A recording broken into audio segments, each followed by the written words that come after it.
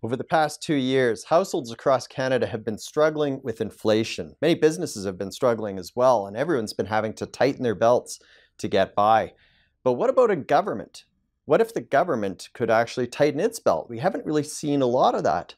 Today we're going to talk with uh, Franco Terrazzano. He's the federal director with the Canadian Taxpayers Federation, an organization I used to work with, as well as Kris Sims, who's the Alberta director. So Thank you uh, both for joining me today to talk about how governments could tighten their belts and potentially maybe provide taxpayers with a bit of tax relief. Franco, I want to start off with you. Uh, at the federal level, you've done some interesting research recently looking at bonuses at the federal level where people seem to be getting them, but they don't seem to be actually hitting their targets. Could you tell us a little bit about what you found? Well, what we found is a tale of two Canadas. In the private sector, People worried about the price of hamburger meat. People worried about their mortgage payments going through the roof. Businesses taking out lines of credit over the last couple years just to keep the lights on. Well, that's not the story behind the golden gates of government. No, no, no. We have found more than $1.3 billion in bonuses paid out in the federal government since 2015.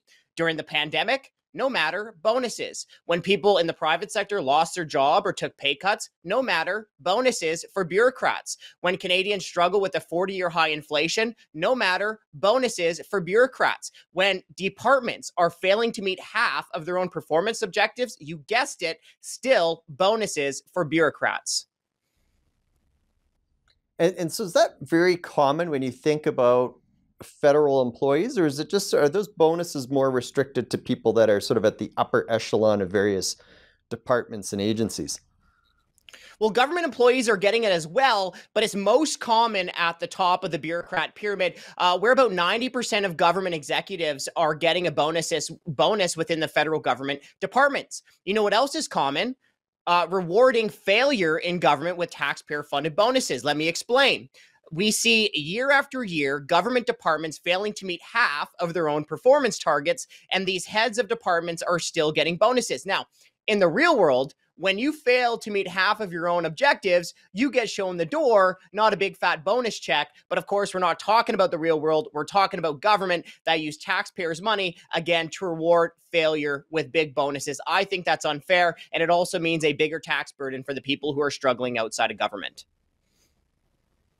Now, over a billion dollars in bonuses going back to 2015. I mean, it's it's a big number, but when you look at how much Ottawa spends on an annual basis, it, it's still relatively small. Not to dismiss things, but if if they're going to deliver tax relief, uh, presumably they'd need to be able to find some larger examples of ways that they could reduce spending. What are some of the more big ticket items that you think that Ottawa should curtail in terms of spending right now?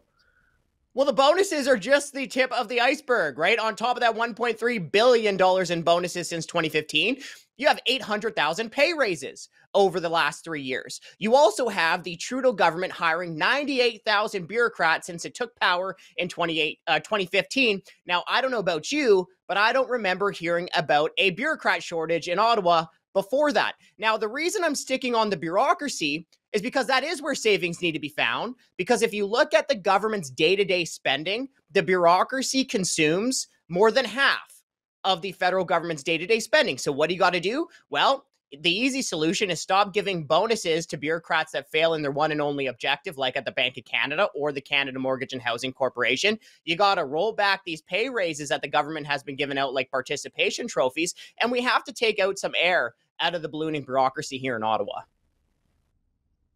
Kris, quickly, I want to bring you into this discussion. Uh, from a Western Canadian perspective, are there any examples of federal spending that really doesn't sit well with people out west?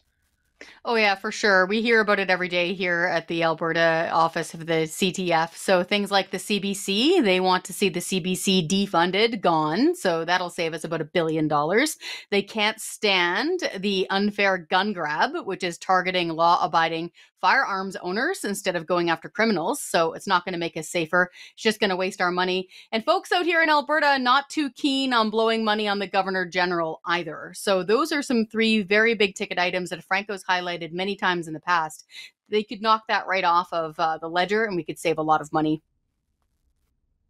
I want to pick up on your, your comments there about the Governor General when we come back. We've got to take a break, and we're also going to talk about the provincial level and cities across Canada, what who's doing uh, something positive for taxpayers and who needs to uh, pull up their socks. We'll be back in just a moment.